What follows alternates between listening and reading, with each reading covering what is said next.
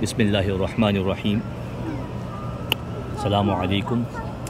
It's Thursday today, 24th October. And after my trip to Rohingya, I had a two day transit in Jeddah. So I have done Umrah,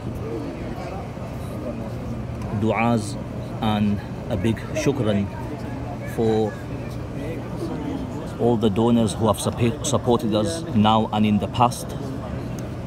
A special thank you to all the donors of People's Needs UK. A special thank you also and Jazakallah and du'as to the parents of Al Ansar Welfare and Education who have continuously supported us in our Rohingya trips.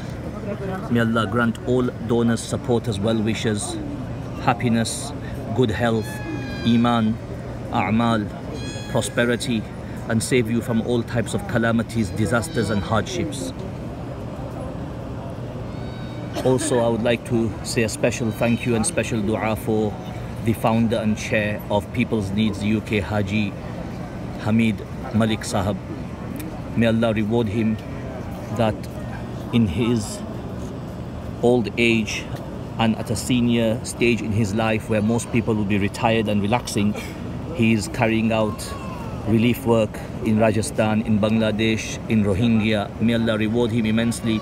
Allah give him sincerity. Allah accept his efforts. So I thought I'll just make this short video for all our supporters, donors, well-wishers. Allah reward you all. Alhamdulillah. I hope that Allah accepts my du'as, gives me sincerity as well, especially in this blessed place.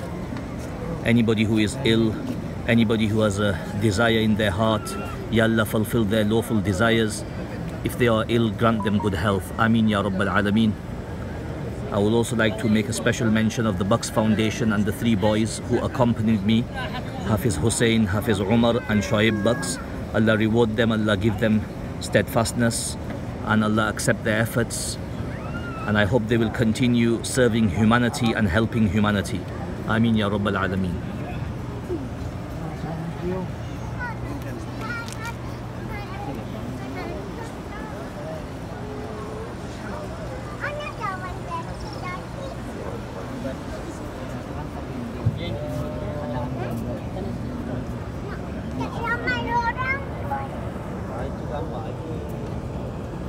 你也不算了。